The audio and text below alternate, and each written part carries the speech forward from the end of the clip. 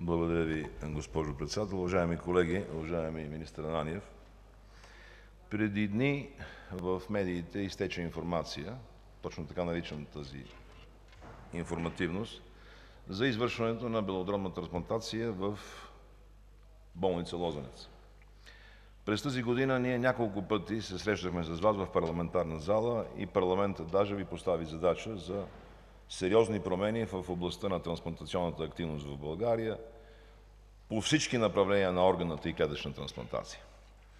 За съжаление, след тази информация не постъпи някакъв коментар от Министерството. Малко по-късно, няколко дни по-късно, в едно свое интервю по други проблеми Вие заявихте, че пациентът върви в градивна посока след извършената трансплантация. Моят въпрос към Вас е след Вашето обяснение в залата, че се подготвят екипи за обучение и че първата трансплантация ще бъде извършена края на 2020 г., по Ваши думи 2021 г., какво мислите да предприемете, ако такива възможности наистина са налице в Република България, независимо със или без международно участие, тъй като проблемът е изключително важен и аз ще го доразвия в своето отношение малко по-късно. Благодаря Ви, госпожо Председател. Благодаря Ви, професор Михайлов.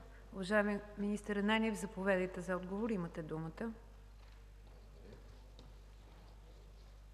Уважаема госпожо Председател, уважаеми госпожи и господа народни представители!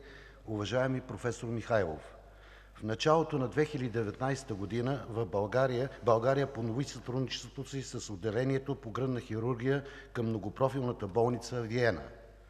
В резултат на постигнатите договорености с австрийската болница са планирани обучения по белодробна трансплантация на български специалисти от Университетска многопрофилна болница за активно лечение „Света Екатерина“ и Военномедицинска академия, които ще започнат в началото на 2020 г. Приет е и подробен график за осъществяване на обучителната програма. Предвижда се екипите от медицински специалисти, подготвени по тази обучителна програма, да започнат работа по трансплантации и следтрансплантационно наблюдение на пациентите след завършване на обучението, тоест в края на 2020 или началото на 2021 г. В обучението ще се включат и медицински специалисти от Университетска многопрофилна болница за активно лечение „Лозенец“. Университетска болница „Лозенец“ има разрешение за извършване на трансплантация на бял дроб. Всяко лечебно заведение в страната има право да предприема действия за повишаване на квалификацията на работещите в него медицински специалисти, в това число и в сферата на трансплантациите, в сътрудничество с български и чуждестранни университети и клиники. Реализацията на такива проекти не е в противоречие с политиката на компетентните български институции, особено като отчитаме необходимостта за стартиране на белодробните трансплантации в България във възможно най-ранен срок. В тази връзка специалистите на Университетска болница „Лозенец“ съвместно с партньорите им в Университетската болница в град Хановер извършиха белодробната трансплантация в страната. По време на целия процес Министерството на здравеопазването и ръководството му бяха непрекъснато информирани за случващото се. Дежурният екип на Изпълнителна агенция „Медицински надзор“ координира действията по донорската ситуация, транспортирането на донор от Варна до София и всички действия преди извършване на трансплантацията. След приключване на операцията бе изнесена информация пред медиите първо от Трансплантационния център, какъвто е нормалният ред, а след това и от Министерството на здравеопазването. По данни от Университетската болница „Лозенец“ към момента трансплантираният пациент се чувства добре и по отношение на него се провежда рехабилитационна програма. Това са все добри новини за българското здравеопазване.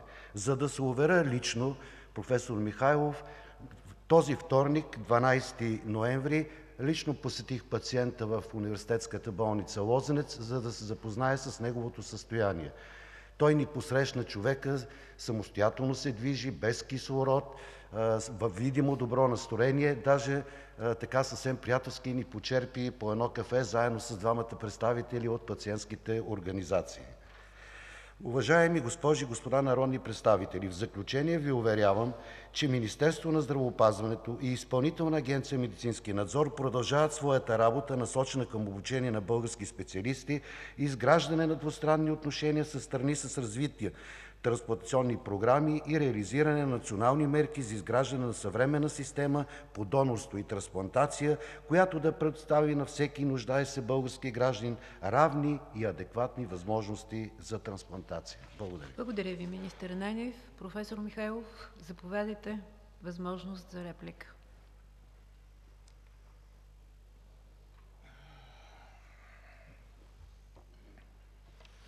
Благодаря Ви, госпожо Председател.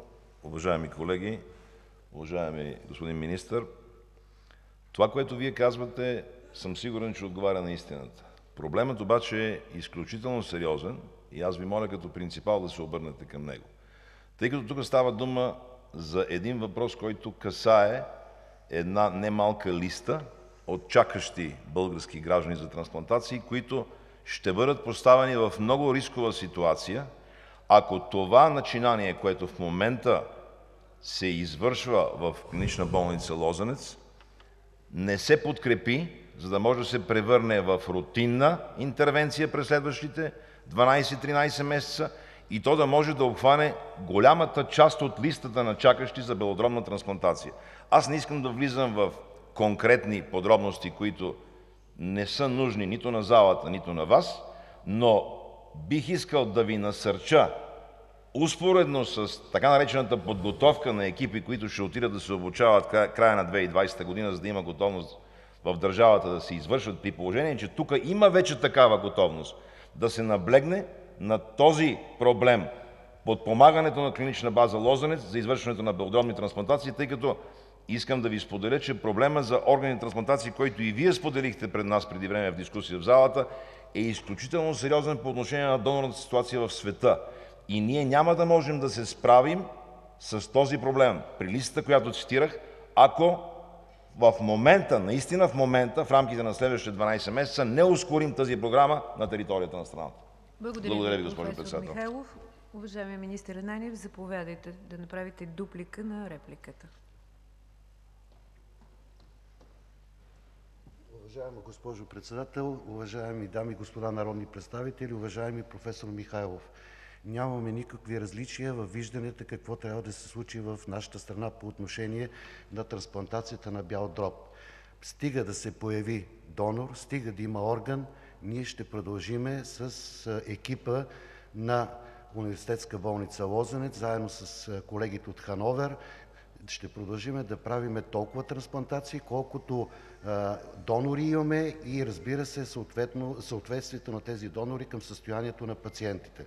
Така че ние едновременно изграждаме капацитет, разширяваме капацитета и в същото време заедно с Университетската болница „Лозенец“ и Хановер ще продължим трансплантациите до завършването на обучението и на останалите специалисти, което обучение ще започне от 2020 г. Благодаря. Благодаря Ви, министър Ананиев.